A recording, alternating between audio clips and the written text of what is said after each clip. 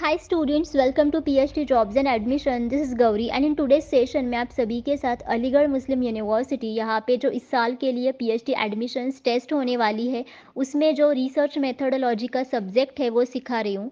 And in today's session हम probability sampling techniques के बारे में देखेंगे बाय यूजिंग एमसीक्यूज जिसके ऊपर आपको हमेशा काफ़ी सारे एमसीक्यूज पीएचडी एडमिशन्स टेस्ट में पूछे जाते हैं under research methodology section probability sampling technique यानी कि रैंडम सैम्पलिंग टेक्निक जिसके काफ़ी सारे सब टाइप्स भी है एंड ये सारे सब टाइप्स मैंने इस सेशन में आप सभी के साथ डिस्कस किए हैं दैट्स वाई आपको ये सेशन एंड तक देखना है ताकि आपके जो डाउट्स है वो क्लियर हो जाए okay okay? So students now let us begin with this session so आप सभी को तो पता है ए एम यू यानी कि अलीगढ़ मुस्लिम यूनिवर्सिटी यहाँ पे P H D admission test होने वाली है फॉर दिस ईयर जिस टेस्ट को सभी को देना है एंड इस टेस्ट में आपको 50 percent M research methodology subject के ऊपर पूछे जाते हैं एंड 50 परसेंट एम आप सभी को कंसर्न सब्जेक्ट के ऊपर पूछे जाते हैं।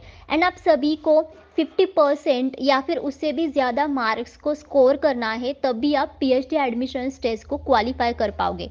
सो so, इसे क्वालिफाई करने के लिए हम सारे स्टूडेंट्स को research methodology complete course provide करते हैं जिस कोर्स की मदद से सारे स्टूडेंट्स रिसर्च मेथडोलॉजी में काफ़ी अच्छे मार्क्स स्कोर करके पीएचडी एडमिशन्स टेस्ट को गारंटीड क्वालिफाई करते हैं।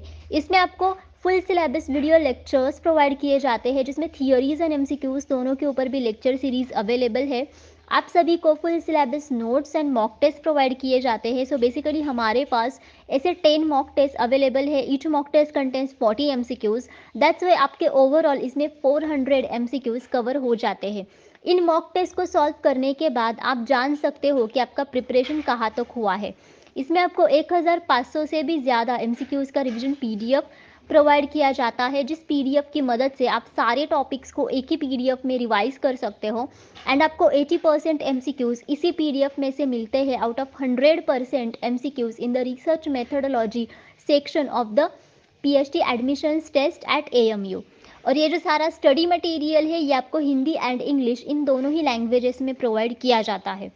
सो so स्टूडेंट्स अगर आपको कंप्लीट कोर्स को परचेस करना है देन इधर आप ग्लोबल ऑनलाइन ऐप डाउनलोड कीजिए फ्रॉम द प्ले स्टोर जिसके लिए मैंने लिंक इस वीडियो के डिस्क्रिप्शन बॉक्स में आप सभी के साथ शेयर की है, या फिर आप स्क्रीन पर दिखाई गए कौन से भी व्हाट्सएप नंबर पर जाकर व्हाट्सएप थ्रू ओनली मुझे कॉन्टैक्ट करके इंक्वायरी कर सकते हैं। कोर्स की फ़ीस है सिर्फ़ six double nine and in income fees में हम सारे स्टूडेंट्स की गारंटीड सिलेक्शन करवा देते हैं। सो स्टूडेंट्स ये रिसर्च मेथडोलॉजी कंप्लीट कोर्स जो है which is nothing but a research methodology revision package जिसकी मदद से आप काफ़ी अच्छे तरीके से पढ़ाई करके P H PhD admission test को क्वालिफाई कर ही सकते हैं okay question one is 35 sophomores 30 juniors, and 33 seniors are randomly selected from 281 sophomores 242 juniors and 529 seniors at a certain high school.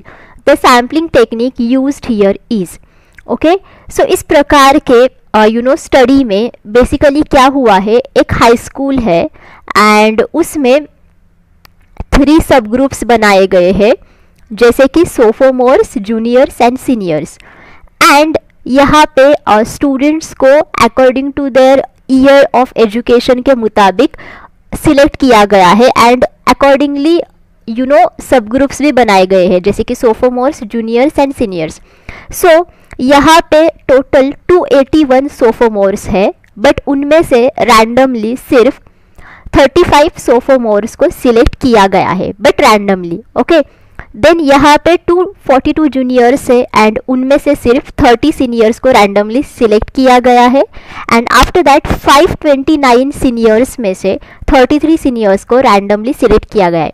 So so, ये जो सिलेक्शन टेक्निक है इसे basically sampling technique कहा जाता है बट इस सैम्पलिंग टेक्निक का एक नाम है। So what is that so whether it is systematic sampling technique random sampling technique cluster या फिर stratified So students, let us see one by one all of these sampling techniques. Okay.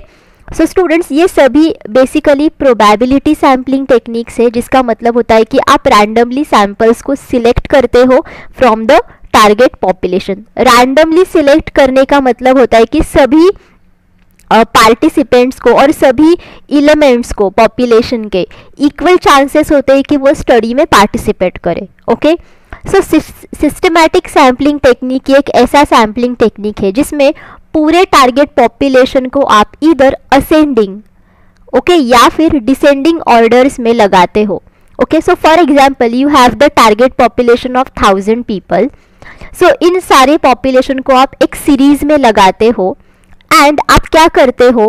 Randomly किसी भी participant को पहले select करते हो। सो for example अगर आपने रैंडमली टेंथ पार्टिसिपेंट को सिलेक्ट किया from the series then after that आप हमेशा उसी नंबर के पार्टिसिपेंट को सिलेक्ट करते हो। जैसे कि यहाँ पे अगर आपने टेंथ रैंडमली पार्टिसिपेंट को सिलेक्ट किया देन आफ्टर दैट आप ट्वेंटी एथ पार्टिसिपेंट को सिलेक्ट करोगे देन थर्टी को करोगे देन फोर्टी को करोगे।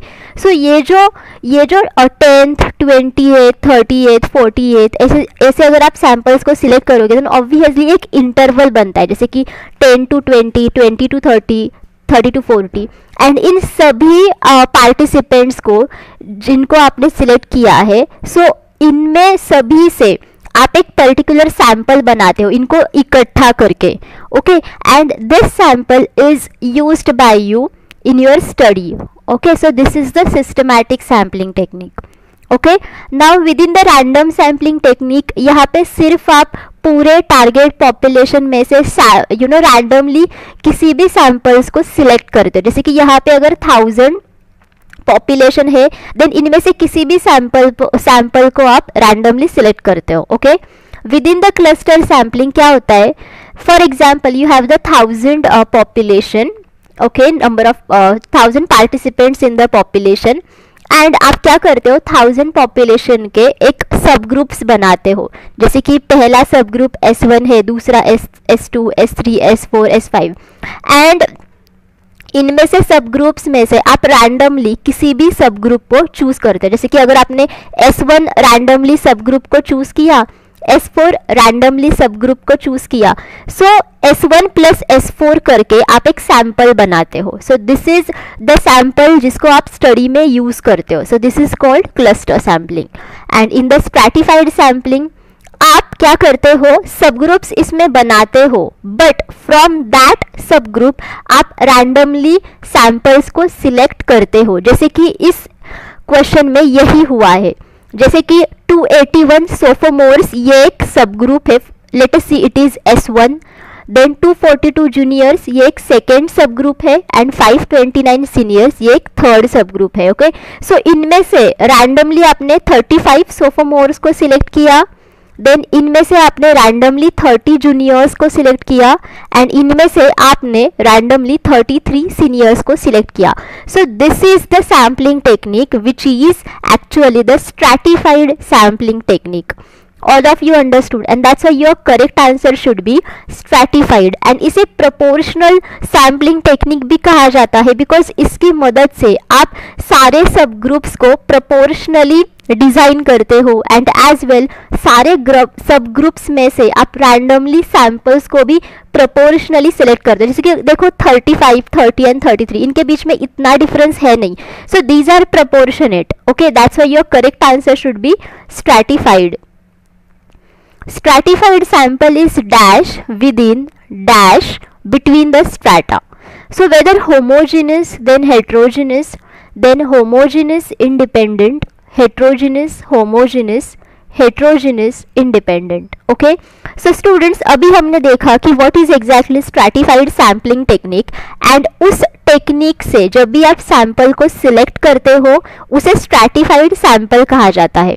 सो बेसिकली स्टूडेंट्स जो स्टैटिफाइड सैम्पलिंग टेक्निक होती है, वो हम लोग इस्तेमाल करते हैं जब टारगेट पॉपुलेशन ये एक हेट्रोजिनस पॉपुलेशन होता है।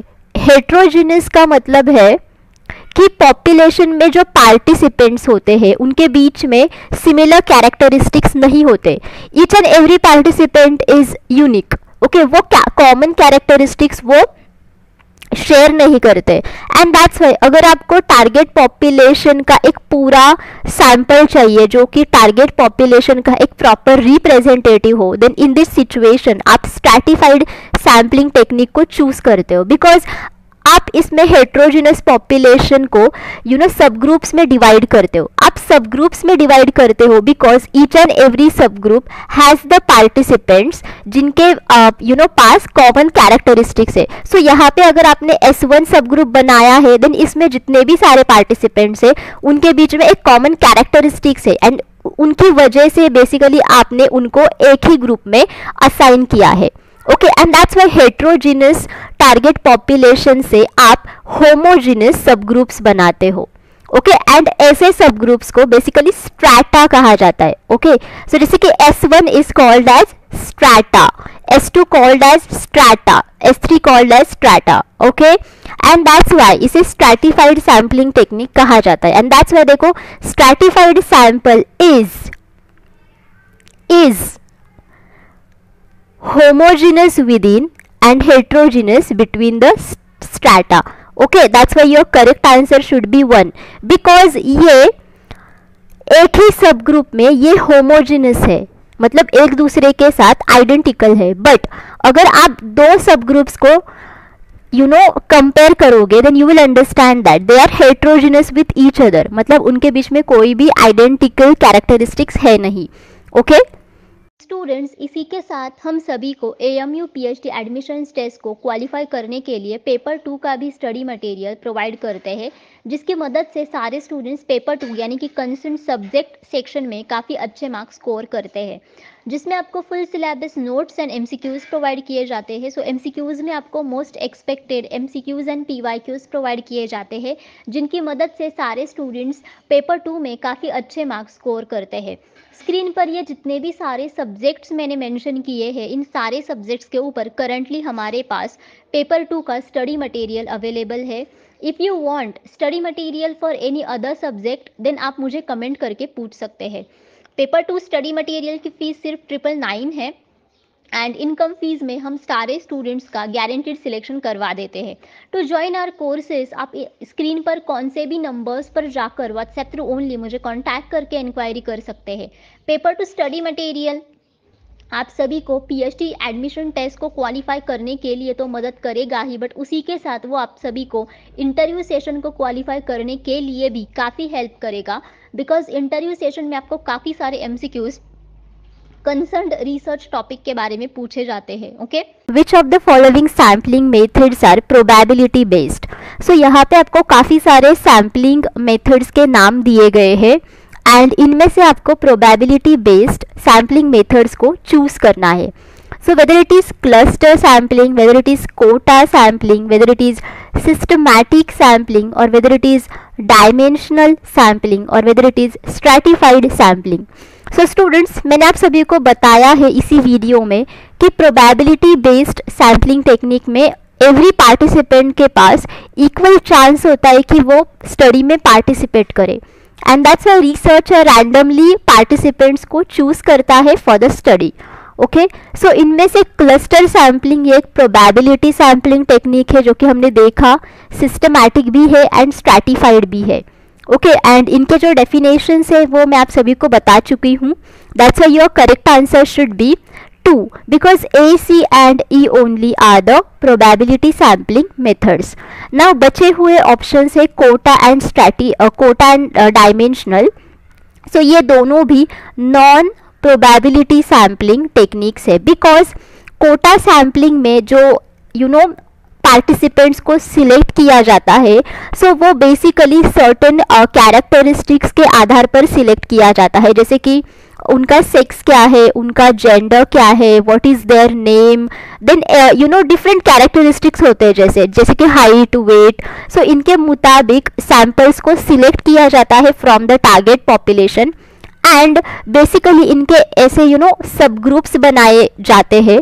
And from that sub groups researcher you know उन्हीं पार्टिसिपेंट्स को सिलेक्ट करता है जिनके पास वो कैरेक्टरिस्टिक्स है, जो रिसर्चर स्टडी में चाह, चाहता है। एंड उन्हीं सैंपल्स को लेकर वो स्टडी करता है। एंड दैट्स यहाँ पे कोई भी रैंडमनेस नहीं है, जब भी वो पार्टिसिपेंट्स को सिलेक्ट करता है। If you compare quota sampling and stratified sampling then दोनों भी आपको अगर देखेंगे सो so, ये दोनों भी एक्चुअली इक्वल है। बट यही डिफरेंस है कि स्ट्रैटिफाइड सैम्पलिंग में रैंडमली सैंपल्स को सिलेक्ट किया जाता है from the strata okay but quota sampling में ऐसा नहीं होता है। इसमें रिसर्चर रैंडमली सैंपल्स को सिलेक्ट नहीं करते हैं from the sub groups basically वो उन्हीं पार्टिसिपेंट्स को सिलेक्ट करता है जानबूझ के जो उसके स्टडी में उसे चाहिए। ओके? एंड डायमेंशनल सैम्पलिंग ये भी एक कोटा सैम्पलिंग का ही टाइप है। बट जैसे कि यहाँ पे आपने देखा कि यू नो सेक्स के मुताबिक जेंडर के मुताबिक सैंपल्स को चूज़ किया जाता है। सो सो डायमेंशनल सैम्पलिंग में वो कैरेक्टरिस्टिक्स बेसिकली यूनिक होते हैं। सो so, जैसे कि यहाँ पे सेक्स जेंडर कोई भी चलेगा बट यहाँ पे उन्हीं यूनिक कैरेक्टरिस्टिक्स की वजह से आप सैंपल्स को सिलेक्ट करते हो। जैसे कि सिर्फ़ सेक्स के मुताबिक ही आप सिलेक्ट करोगे सिर्फ़ जेंडर के मुताबिक ही करोगे और सिर्फ़ हाइट के मुताबिक करोगे। That's this is also non probability sampling technique and that's why your correct answer should be 2. In the process of drawing a random sampling, which of the following process is in order of sequence? Okay okay, जब भी आप random sampling method से अगर samples को select करते हो from the target population then उसका process क्या है in the you know perfect sequence So define target population, then decide sample size, then list all the units of target population and drawing the sample by randomization. Then decide sample size, then define the target population, then list the units of target population and select the sample by randomization. Then list all the units of target population, then decide sample size, then define the population and apply randomization drawing sample by randomization then decide sample size then define target population and list all units of target population okay so students random sampling का मतलब है कि आप randomly samples को select करते हो right but उसमें भी काफ़ी सारे steps होते हैं जैसे कि सबसे पहला step ये है कि सबसे पहले आपको टारगेट पॉपुलेशन को डिफाइन करना है कि exactly what is your target population okay then your second step is कि आपको डिसाइड करना है कि आपको क्या सैंपल साइज़ चाहिए। मतलब आपको सैंपल में कितने नंबर ऑफ़ पार्टिसिपेंट्स चाहिए। मतलब जैसे कि 50 100 या फिर मोर देन दैट वो डिसाइड करो। Then after that list all the units of target population मतलब टारगेट पॉपुलेशन के सभी यूनिट्स को एक लिस्ट आउट कर दो। ओके okay, ये बहुत ज़रूरी है। Okay list all the units of target population and then after that draw the sample by the randomization then randomly sample को सिलेक्ट करो। सो so, अगर आपको रैंडमली सैंपल को सिलेक्ट करना है देन आप वो खुद मैन्युअली भी कर सकते हो। इधर आप लॉटरी मेथड को भी इस्तेमाल कर सकते हो। सो बेसिकली लॉटरी मेथड भी एक randomly you know assigned sampling technique ही है बट इसमें यू नो ऐसे नंबर्स इस्तेमाल किए जाते हैं।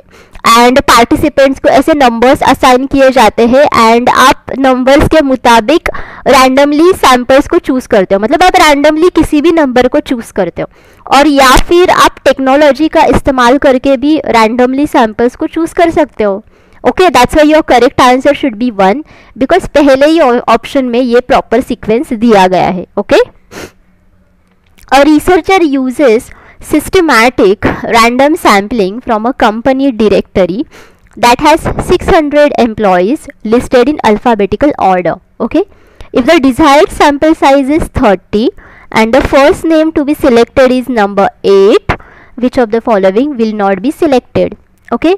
So so, यहाँ पे रिसर्चर ने सिस्टमैटिक रैंडम सैम्पलिंग का इस्तेमाल किया है ओके okay? ताकि वो फ्रॉम अ कंपनी डायरेक्टरी से 600 एम्प्लॉयज़ को सिलेक्ट कर सके। सो so, उसने 600 एम्प्लॉयज़ को सिलेक्ट किया एंड उसकी जो सैंपल साइज़ है वो है thirty so six hundred employees का मतलब होता है कि your capital N is six hundred यानी कि your target population is six hundred okay and your sample size यानी कि small n is thirty sample size means the size that you want okay in your study okay उसे sample size कहा जाता है. And the first name to be selected is number eight so उसने जो first name का employ select किया उसका number था एट ओके okay, मतलब 600 पॉपुलेशन है. सो so उसने 1 टू 600 ऐसे करके एम्प्लॉयज़ को सिक्वेंसली लगाया है according to the alphabetical order and उसने असाइन किया कि मुझे 30 सैंपल साइज़ चाहिए. ओके देन आफ्टर दैट उसने जो पहला कैंडिडेट चूज़ किया वो था एट नंबर का candidate eight so first of all we need to calculate the interval okay what is the interval और द सैंपल इंटरवल क्या है? सो so, उसको कैलकुलेट करने के लिए आपको क्या करना पड़ेगा? 600 हंड्रेड अपॉन थर्टी करना पड़ेगा. Capital N upon small n so its value will be 20 so so, इसका मतलब ये है कि आपका जो इंटरवल बनेगा अमंग द 600 हंड्रेड एम्प्लॉयज़ वो रहेगा 20 मतलब आपका जो पहला इंटरवल रहेगा वो रहेगा 1 टू 20 नेक्स्ट इंटरवल रहेगा 21 to 40 41 to 60 like that okay up to the 600 and यहाँ पे 20 इंटरवल्स है. सबसे पहला कैंडिडेट था 8 ओके देन आपका नेक्स्ट कैंडिडेट क्या होगा? 20 प्लस एट बिकॉज़ 20 इंटरवल्स है एंड एट्थ कैंडिडेट है राइट यानी कि 1 टू 20 इंटरवल्स है। अगर आपने एट्थ एम्प्लॉय को यूनिट चूज़ किया है then in 21 to 40 interval as well आप एट्थ नंबर के ही कैंडिडेट को सिलेक्ट करोगे। सो so, इसमें से जो एट नंबर का कैंडिडेट आएगा वो क्या आएगा? 28 right? From 41 to 60 again it will become 48 so like that. So ये आपकी series रहेगी 8 then 28 48 then if you go very longer then 348 then 368 then 408 like that. 428 then 528 then 548 then 568 okay like this. And that's why इनमें से जो number नहीं आएगा, वो है 558 अगर आप देखोगे, अगर आप 48 प्लस ट्वेंटी करोगे देन आपको 68 मिलेगा. 68 प्लस ट्वेंटी करोगे then you will get 88 so so 88 इसमें आएगा. 368 तो आ गया है I have mentioned here then 428 भी आया है. सो so, बचा हुआ ऑप्शन है 558 जो नहीं आएगा इस लिस्ट में। That's why your correct answer should be four so students याद रखो कि आपको ऐसे भी क्वेश्चंस एग्ज़ाम्स में पूछे जा सकते हैं which are really very tricky but अगर आपको कॉन्सेप्ट पता है कि ये सैम्पलिंग टेक्निक कैसी है वो कैसी है then you will understand okay a method of sampling that proportional uh, representation of all sections of population is technically called so इनमें से कौन सा सैम्पलिंग टेक्निक ऐसा है जो इंश्योर करता है कि यू नो टारगेट पॉपुलेशन के सारे सेक्शंस को uh, हमने एक ही सैंपल में प्रोपोर्शनली रिप्रेजेंट किया है? So, whether it is quota sampling, whether it is systematic, whether it is snowball, then stratified. So let me tell you one thing that इनमें से जो दो सैम्पलिंग टेक्निक्स है, वो है प्रोबेबिलिटी जैसे कि सिस्टमैटिक एंड स्ट्रेटिफाइड ये दोनों भी प्रोबेबिलिटी सैम्पलिंग टेक्निक्स है एंड जो quota and snowball sampling techniques है, ये दोनों भी नॉन प्रोबेबिलिटी सैम्पलिंग टेक्निक्स है ओके सो so, मैंने मैंने आप सभी को तो quota systematic and stratified sampling technique बता चुकी हूँ। So the remaining is snowball so snowball ये एक नॉन प्रोबेबिलिटी सैम्पलिंग टेक्निक है एंड इसमें यू नो सबसे पहले जो टारगेट uh, पॉपुलेशन होता है उसकी जो साइज़ होती है वो बहुत कम होती है। मतलब लोग असल में होते ही बहुत कम है। एंड दैट्स वाई इसमें रिसर्चर क्या करता है जितने भी सारे लोग हैं पॉपुलेशन में उनको वो इनकरेज करता है ताकि वो अदर लोगों को स्टडी में पार्टिसिपेट करने के लिए इनक्रेज करे। Okay and that's why it is also called as chain sampling technique because लोग दूसरे लोगों को इनकरेज करते हैं, बुलाते हैं कि आप स्टडी में पार्टिसिपेट करो। And that's why this is the snowball sampling technique and इसे नॉन प्रोबेबिलिटी कहा जाता है बिकॉज़ यहाँ पे किसी भी प्रकार आप रैंडमली सैंपल्स को सिलेक्ट नहीं करते हो। जितने भी सारे लोग होते हैं पहले से ही ओके वो रैंडमली तो सिलेक्ट हुए नहीं है। रिसर्चर उनको because of specific characteristic select करता है but due to the less number of participants researcher उनको बोलता है कि आप दूसरे लोगों को भी इनक्रेज करो बुलाओ स्टडी में। एंड दैट्स वाई उनको भी पता है ना कि uh, किन लोगों को बुलाना है किन को नहीं बुलाना है। सो so, रैंडमली कोई भी चीज़ होती नहीं है। But the main question over here is that कि which sampling method which ensures proportional representation of all sections of the population. So ये जो sampling technique है वो है स्ट्रैटिफाइड सैम्पलिंग टेक्निक बिकॉज़ ये तो मैंने आप सभी को पहले भी बताया था इसी वीडियो में कि इसमें आप यू नो हेट्रोजिनस पॉपुलेशन में से होमोजिनस सब ग्रुप्स बनाते हो। सो so, आप होमोजिनस सब ग्रुप्स में से रैंडमली सैम्पल्स को सिलेक्ट करते हो। सो so, इसकी मदद से आप प्रोपोर्शनली सारे यू नो पार्टिसिपेंट्स को इसमें लाते हो। आई मीन टू से कि सारे कैरेक्टरिस्टिक्स को आप प्रोपोर्शनली एक ही सैंपल में इकट्ठा करते हो। ओके एंड दैट्स वाई यहाँ पे प्रोपोर्शनल रिप्रेजेंटेशन होता है। वो भी all sections of the population that's why it is the stratified sampling and one more thing is that कि जो कोटा सैम्पलिंग है सिस्टमैटिक सैम्पलिंग है स्नोबॉल सैम्पलिंग है, उनमें से जो नॉन प्रोबेबिलिटी सैम्पलिंग टेक्निक्स होती है, उसमें इस प्रकार का प्रोपोर्शनल रिप्रेजेंटेशन नहीं होता है because it is non probability and systematic में नहीं होता है बिकॉज़ उसमें आप एक प्रॉपर इंटरवल्स बना के वही इंटरवल्स को चूज़ करते हो राइट right? बट ऐसा इसमें यू नो होने के चांसेस बहुत कम है कि यू नो सारे कैरेक्टरिस्टिक्स आप प्रोपोर्शनली एक ही सैंपल में इकट्ठा करो। बिकॉज़ यू डोंट नो कि किस इंटरवल पे कौन सा सैंपल है। All of you getting and that's why the correct answer is four a researcher intends to study the adjustment problems of students were slum dwellers okay what should be the sampling procedure use for such a study so so, यहाँ पे researcher study करना चाहता है कि students के adjustment problems क्या है but ऐसे स्टूडेंट्स जो स्लम ड्वेलर्स है।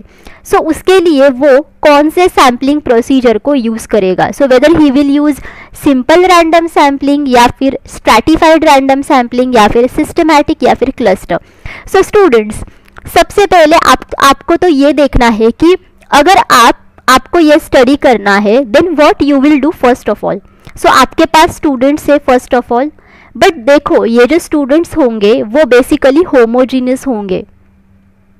होमोजीनियस का मतलब होता है कि उनके बीच में आइडेंटिकल कैरेक्टरिस्टिक्स है.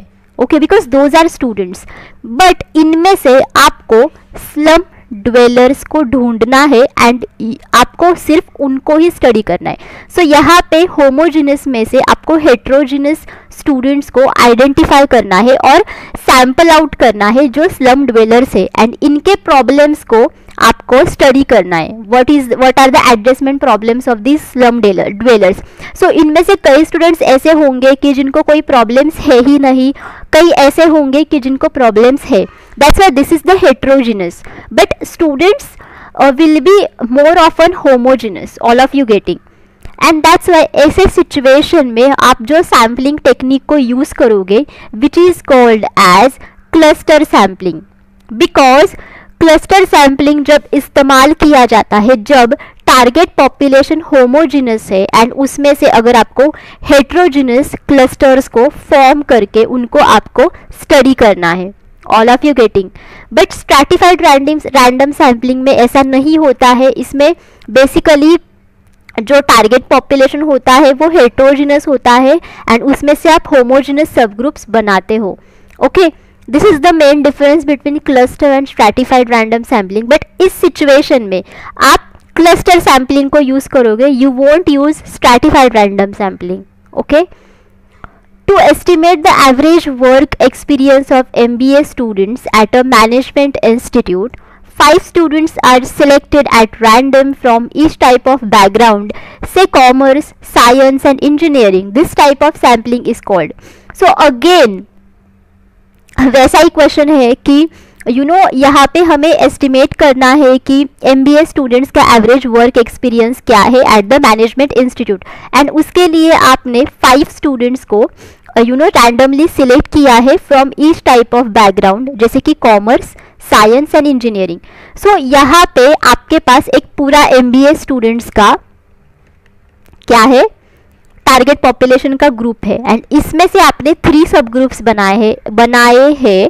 सो इनमें से सबसे पहला है कॉमर्स दूसरा है साइंस तीसरा है इंजीनियरिंग एंड इनमें से आपने रैंडमली फाइव फाइव पार्टिसिपेंट्स को सिलेक्ट किया है। मतलब जैसे कि कॉमर्स में से आपने फाइव स्टूडेंट्स को सिलेक्ट किया साइंस में से फाइव को किया एंड इंजीनियरिंग में से फाइव को किया। वो भी रैंडमली एंड एंड इन तीनों को मिला के आपने एक सैंपल को बनाया। So what is this sampling technique is called so obviously systematic है या फिर स्ट्रेटिफाइड है या फिर सिंपल रैंडम है या फिर क्लस्टर है. So obviously in this case आप स्ट्रेटिफाइड रैंडम सैम्पलिंग को यूज़ करोगे बिकॉज़ जो पूरा टारगेट पॉपुलेशन है वो है हेट्रोजिनस एंड उनमें से आपने होमोजिनस सब ग्रुप्स को बनाया है बिकॉज़ कॉमर्स में सिर्फ़ कॉमर्स स्टूडेंट्स होंगे साइंस में सिर्फ़ साइंस स्टूडेंट्स होंगे एंड इंजीनियरिंग में सिर्फ़ इंजीनियरिंग फैकल्टी के ही स्टूडेंट्स होंगे। एंड उनमें से आपने रैंडमली सैम्पल्स को चूज़ किया है।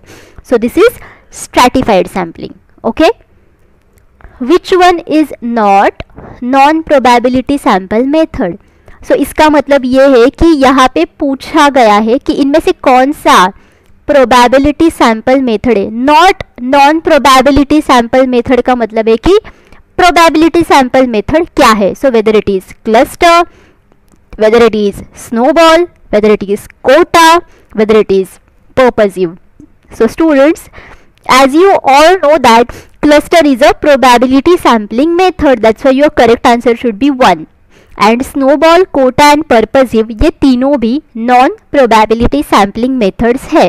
एंड जो पर्पजिव सैम्पलिंग मेथड है, इसमें रिसर्च एक स्पेसिफिक कैरेक्टरिस्टिक चाहता है from the participants and that's why वो उन्हीं पार्टिसिपेंट्स को सिलेक्ट करता है, उनके, जिनके पास वो unique and specific you know characteristic है okay now the next one is question ten variation of sample mean from the population mean is due to. Now, population mean से सैंपल मीन का variation क्या है? And basically वो किसकी वजह से आता है? So whether it is cause due to sampling error और wrong method of data collection और biased attitude of the researcher या फिर all of the above so students variation of sample mean from the population mean is called as sampling error okay? And sampling error कहाँ से आती है? अगर आप wrong sample size को select करते हो, या फिर अगर आप रॉन्ग सैम्पलिंग टेक्निक को इस्तेमाल करते हो देन उसकी वजह से सैम्पलिंग एरर आती है। एंड सैम्पलिंग एरर का मतलब होता है कि जो टारगेट पॉपुलेशन होता है, उसका मीन एंड जो सैंपल पॉपुलेशन होता है, उसका जो मीन है, उनके बीच में जो वेरिएशन है। So this is nothing but the sampling error and that's why the correct answer for this question is one that is sampling error. And अगर आप sampling error को कम करना चाहते हो देन उसके लिए आपको इधर सैंपल साइज़ को बढ़ाना है, उसको इंक्रीज करना है इंक्रीज द सैंपल साइज़ जितना आप सैंपल साइज़ बढ़ाओगे, उतना सैम्पलिंग एरर डिक्रीज होगा. एंड दैट टू आपको करेक्ट सैम्पलिंग टेक्निक का इस्तेमाल करना है. मतलब जिस जगह पे आपको प्रोबेबिलिटी सैम्पलिंग टेक्निक यूज़ करनी है, वहाँ पे प्रोबेबिलिटी सैम्पलिंग टेक्निक को यूज़ करो. जिस जगह पे आपको नॉन प्रोबेबिलिटी सैम्पलिंग टेक्निक को इस्तेमाल करना है वहाँ पे नॉन प्रोबेबिलिटी सैम्पलिंग टेक्निक को यूज़ करो। एंड अगर आप wrong method of data collection को यूज़ करोगे देन उसकी वजह से you uh, know data collection में बायस्ड आ जाता है। बायस्ड यानी कि आप जानबूझ के उसी डेटा को सिलेक्ट करते हो। So this would be the unethical thing and as well अगर आप बायस्ड एटीट्यूड रहेगा आपका यानी कि रिसर्चर का देन उसकी वजह से भी बायस्ड डेटा आप सिलेक्ट uh, करोगे। And all of the above option eliminate हो गया। So your correct answer should be one so students thank you for watching this session so if you have any doubts you can ask me in the comment box.